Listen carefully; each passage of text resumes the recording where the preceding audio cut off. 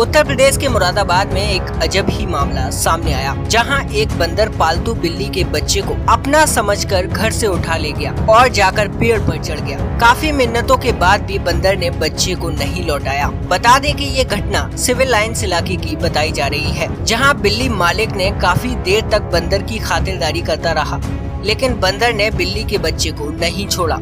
काफ़ी देर तक बंदे को खाना पीने का सामान देकर बच्चा छुड़ाने की कोशिश की गई। अजब मामला सामने आने पर आसपास के लोग भी आ गए और सभी ने बंदर से बिल्ली के बच्चे को छुड़ाने की कोशिश की। कुछ देर बाद बंदर बिल्ली के बच्चे को लेकर गायब हो गया। बिल्ली मालिक अभी तक बिल्ली के बच्चे को तलाश कर रहा है। हालाँकि अब तक बंदर और बिल्ली के बच्चे का सुराग नहीं मिल सका है। दिखा रहा गुस्सा।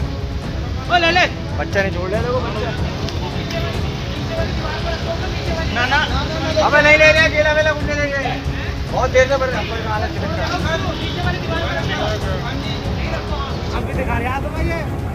ना ना।